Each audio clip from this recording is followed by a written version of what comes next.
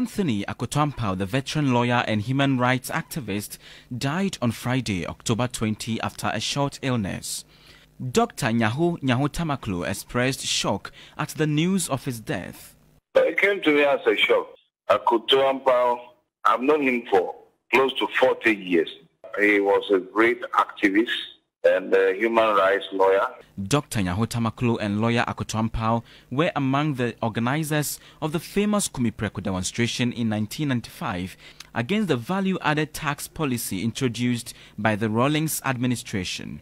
But the founding member of the NPP and statesman said he was surprised the late lawyer did not speak up on some of the atrocities the country is currently facing. What really amazes me about Akoto-Ampaw in his later years is why he stood so quietly and did not complain or talk about what this country is going through at the moment.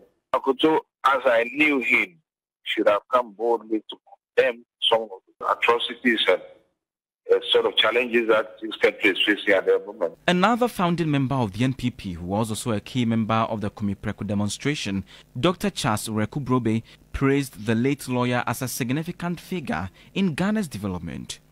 I would describe him in one word. Incomparable is the way I saw Akoto-Ampaw.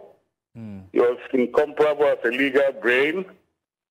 He was incomparable as a friend and brother and incomparable in everything that he stood for.